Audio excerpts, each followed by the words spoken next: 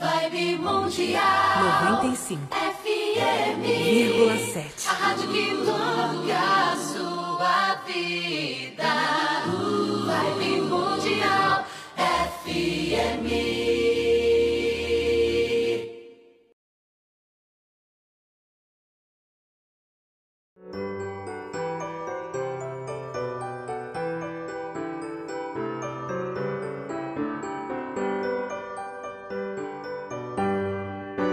Está no ar, pela Vibe Mundial. Programa Reflexões sobre Jesus, com Nilson Antônio Brena. Para você conhecer as verdades, os ensinamentos e as orientações de Jesus.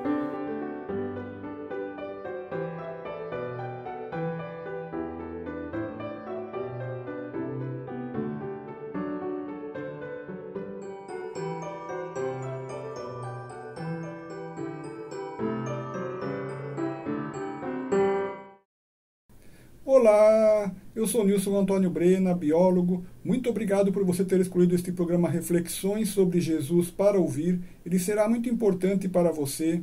Este programa tem duração de 25 minutos. Assistas até ao final, porque o alimento que tu comes sustenta o teu corpo físico, mas somente a palavra de Deus pode alimentar a tua alma. E o tema de hoje é uma pergunta. Quantos escolhem ser justos? Se alguma coisa que eu te disser aqui hoje estiver em contrário com o próprio Senhor Jesus ensinou, considere errado esse algo que eu te disser. E também, tudo que eu te disser aqui, você não deve imaginar que é para outras pessoas, tipo, fulano é que deveria agir assim, ah, fulana teria que agir assim. Não, esqueça outras pessoas. Tudo que eu disser aqui é para você aplicar em sua própria vida pessoal. Tudo que eu disser aqui é para você fazer uma reflexão sobre você mesmo, uma reflexão sobre você mesma. Assim, este programa não é para outras pessoas, este programa é para você. Veja o que diz na Bíblia Sagrada, no Antigo Testamento, no livro de Salmos 53, nos versículos 1 a 3. Diz Onésio no seu coração: Não há Deus. Corromperam-se e cometeram abominável iniquidade. Não há quem faça o bem. Deus olha lá dos céus para os filhos dos homens, para ver se há algum que tenha entendimento que busque a Deus. Desviaram-se todos e, juntamente, se fizeram imundos. Não há quem faça o bem, não há sequer um. Os versículos que tu acabaste de ouvir foram escritos centenas de anos antes de Cristo em nossos dias atuais, vemos que muitas pessoas dizem para si mesmas que Deus não existe, para que se sintam livres para fazer coisas erradas. Assim, negando para si mesmas a existência de Deus, essas pessoas também negam a existência do bem negando para si mesmas a existência de, a existência de Deus, essas pessoas também, também negam a existência da justiça. Negando para si mesmas a existência de Deus, essas pessoas também negam a existência do amor. Tudo isso para que se sintam livres para fazer coisas erradas. Dessa forma, muitas pessoas negando a Deus, negando o bem, negando a justiça e negando o amor, essas pessoas se corrompem, eliminam seu bom comportamento, pervertem-se moralmente e passam a desrespeitar as leis morais que regem a vida. E, assim, desrespeitando as leis justas de Deus que rejeitaram, cometem os mais variados tipos de pecados, chegando mesmo a cometer os pecados mais abomináveis. Ou seja, escolhendo descrer em Deus, escolhendo descrer no bem, escolhendo descrer na justiça, escolhendo descrer no amor, muitas pessoas cometem pecados de maneira livre e solta. Veja o que diz na Bíblia Sagrada, no Antigo Testamento, no livro de Salmos 53, nos versículos 1 a 3. Diz no seu coração: Não há Deus. Corromperam-se e cometeram abominável iniquidade. Não há quem faça o bem. Deus olha lá dos céus para os filhos dos homens, para ver se há algum que tenha entendimento, que busque a Deus. Desviaram-se todos e juntamente se fizeram imundos. Não há quem faça o bem, não há sequer um. Estes versículos foram escritos centenas de anos antes de Cristo.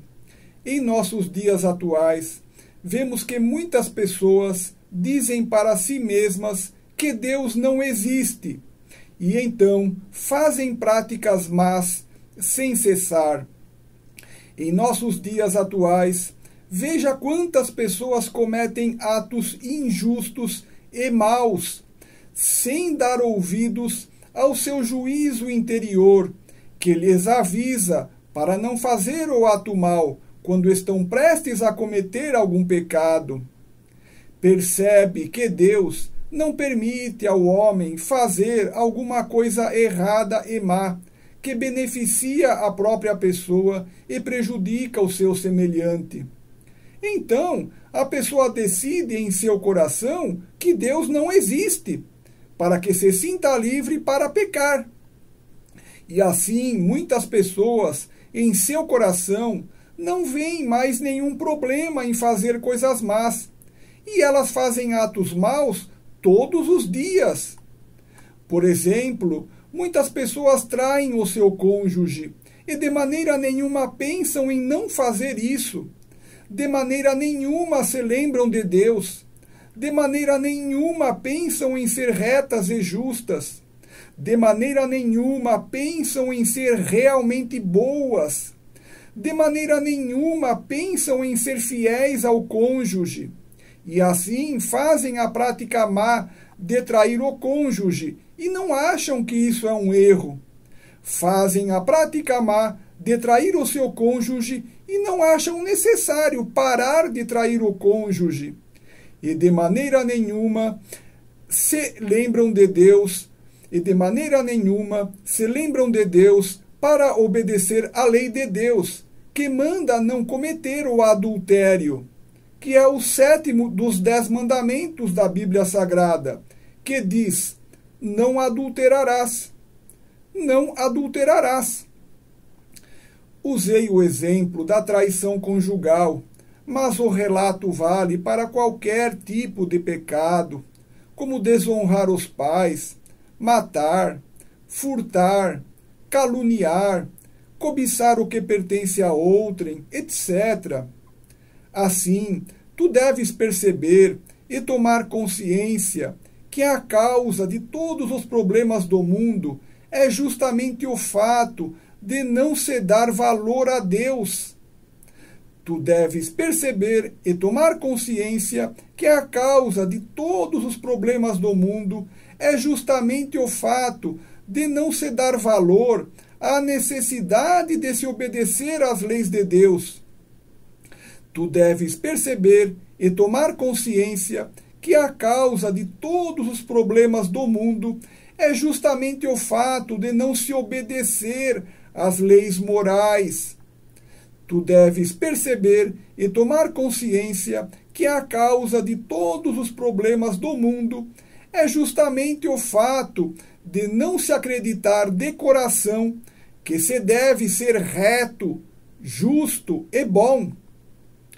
Por que se joga fora o maior tesouro que existe, que é a crença em Deus, a crença na retidão, a crença na justiça e a crença no bem? Porque se joga fora a coisa mais linda que existe, que é a pureza da própria alma, em troca de cometer atos sujos e imundos que contaminam a alma. Assim, a partir de hoje, muda o teu modo de ver a vida e passa a ter amor por tudo que é valioso e lindo. Que valiosas são as leis justas e bondosas de Deus! Que lindo é ter a alma limpa e pura! Quem tem bom caráter resplandece como o sol. Vou repetir, preste atenção. A partir de hoje, muda o teu modo de ver a vida e passa a ter amor por tudo que é valioso e lindo. Que valiosas são as leis justas e bondosas de Deus. Que lindo é ter a alma limpa e pura. Quem tem bom caráter resplandece como o sol. Vou repetir, preste atenção. A partir de hoje, muda o teu modo de ver a vida e passa a ter amor por tudo que é valioso e lindo. Que valiosas são as leis justas e bondosas de Deus. Que lindo é ter a alma limpa e pura. Quem tem bom caráter resplandece como o sol. Ao se obedecer às leis justas e bondosas de Deus, se estabelece a paz, a felicidade e a prosperidade na vida do indivíduo e no mundo. Ao se rejeitar as práticas más e somente fazer atos bons, purifica-se a alma que retorna ao seu estado de linda e perfeita pureza original. Ao se tornar reto, justo e bom, o homem se liga a Deus, passa a sentir regozijo e felicidade em viver sempre fazendo coisas boas e lindas. E, sendo reto, justo e bom, o homem agrada a Deus e se torna apto a receber a salvação de Deus.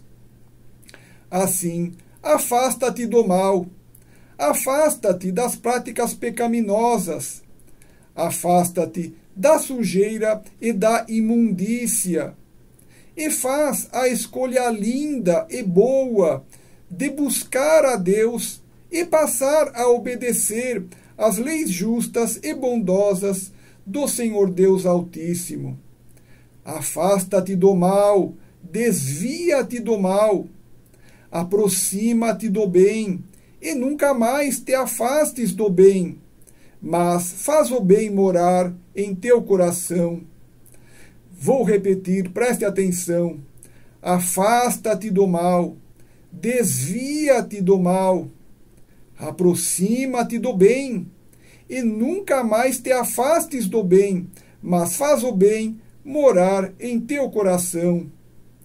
Vou repetir, preste atenção. Afasta-te do mal, desvia-te do mal, aproxima-te do bem, e nunca mais te afastes do bem, mas faz o bem morar em teu coração. Veja o que diz na Bíblia Sagrada, no Antigo Testamento, no livro de Salmos 53, nos versículos 1 a 3. Diz Onésio no seu coração: Não há Deus. Corromperam-se e cometeram abominável iniquidade. Não há quem faça o bem. Deus olha lá dos céus para os filhos dos homens, para ver se há algum que tenha entendimento, que busque a Deus. Desviaram-se todos e juntamente se fizeram imundos. Não há quem faça o bem, não há sequer um. Estes versículos foram escritos centenas de anos antes de Cristo. Em nossos dias atuais, vemos que muitas pessoas dizem para si mesmas que Deus não existe e então cometem pecados e atos abomináveis e sujam a sua alma, tornam a sua alma imunda. Deus sempre foi o mesmo, ontem, hoje e sempre será o mesmo eternamente. Assim, Deus continua olhando hoje para os filhos dos homens, vendo se há alguém que tenha entendimento na vida, ou seja, alguém que tenha juízo, alguém que busque sair da ignorância, alguém que busque sabedoria, alguém que tenha os olhos abertos e que busque a Deus. Ter entendimento significa ter juízo. Ter entendimento significa ter os olhos abertos e enxergar que existe diferença entre o errado e o certo. Ter entendimento significa ter os olhos abertos e enxergar que existe diferença entre o injusto e o justo. Ter entendimento significa ter os olhos abertos e enxergar que existe diferença entre o bem e o mal. Quem busca a Deus de coração busca praticar o bem, busca praticar a justiça e busca praticar o amor. Quem busca a Deus de coração busca ser bom, busca ser justo e busca ser amoroso. Veja o que diz na Bíblia Sagrada, no Antigo Testamento, no livro de Salmos 53, nos versículos 1 a 3. Desonécio no seu coração, não há Deus. Corromperam-se e cometeram abominável iniquidade. Não há quem faça o bem. Deus olha lá dos céus para os filhos dos homens, para ver se há algum que tenha entendimento, que busque a Deus. Desviaram-se todos e juntamente se fizeram imundos. Não há quem faça o bem, não há sequer um. Estes versículos foram escritos centenas de anos antes de Cristo. Em nossos dias atuais, vemos que muitas pessoas dizem para si mesmas que Deus não existe, para que possam fazer coisas más, e então não buscam a Deus. Mas quem dá ouvidos à razão e ao juízo passa a buscar a Deus, passa a se esforçar em estudar e aprender quais são as leis de Deus, passa a obedecer às leis de Deus e passa a ser reto, justo e bom. E quem busca a Deus passa a receber muitas bênçãos em sua vida. Quem busca a Deus passa a, quem busca Deus passa a receber sabedoria. Quem busca a Deus passa a receber solução para os seus problemas. Quem busca a Deus recebe alívio de suas dores e sofrimentos. Quem busca a Deus recebe cura das suas doenças. Quem busca a Deus recebe esperança.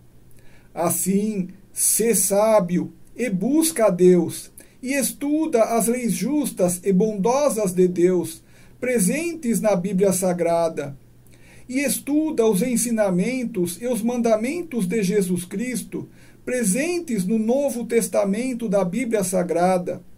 Jesus Cristo, que é o Filho unigênito de Deus, Jesus Cristo, que aceitou sua morte na cruz como sacrifício, para que chegasse aos teus ouvidos a palavra libertadora e salvadora da verdade divina.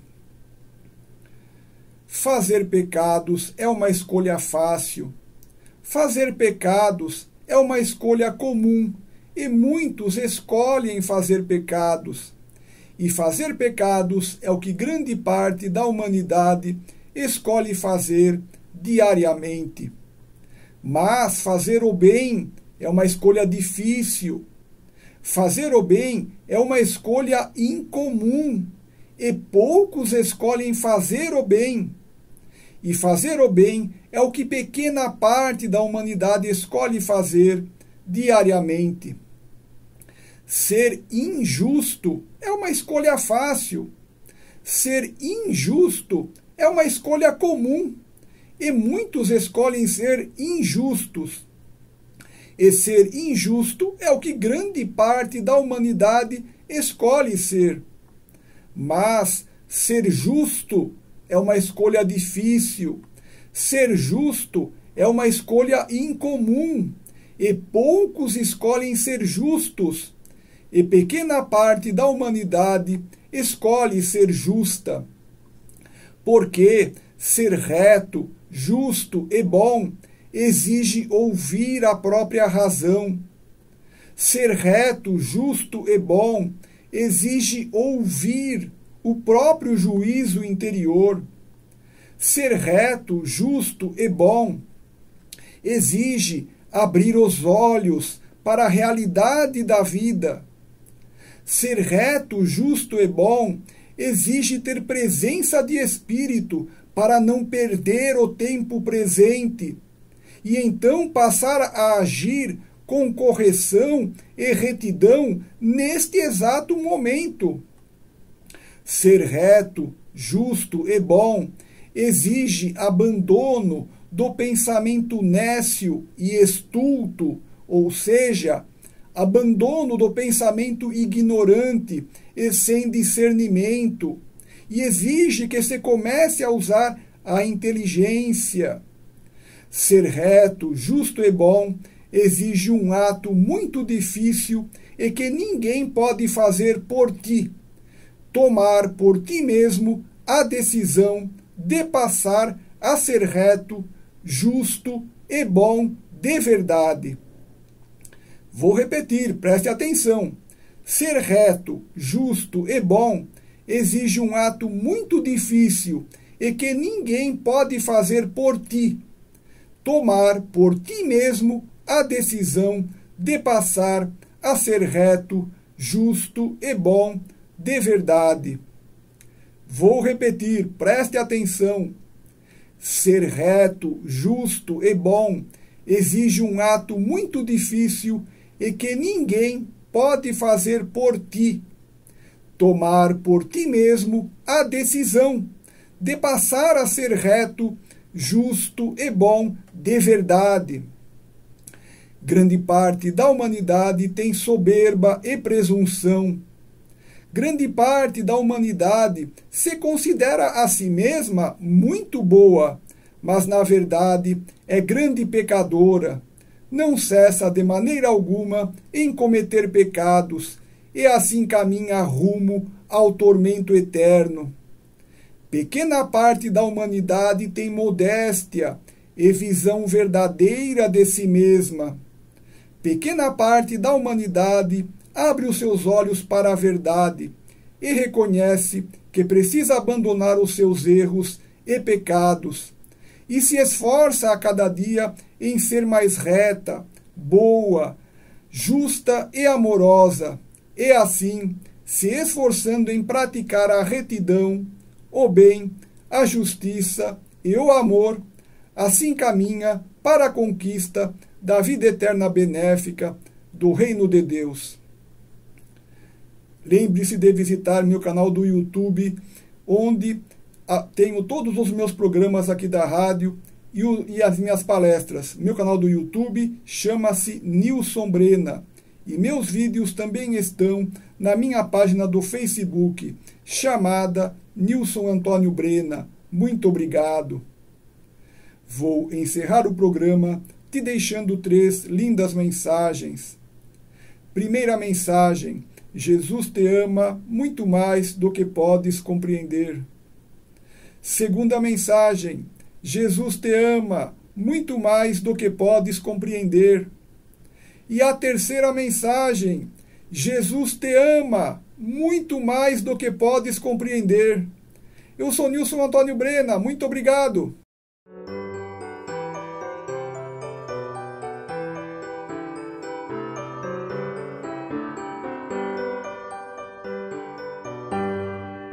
Você acaba de ouvir na Vibe Mundial, programa Reflexões sobre Jesus, com Nilson Antônio Brena. Para você conhecer as verdades, os ensinamentos e as orientações de Jesus.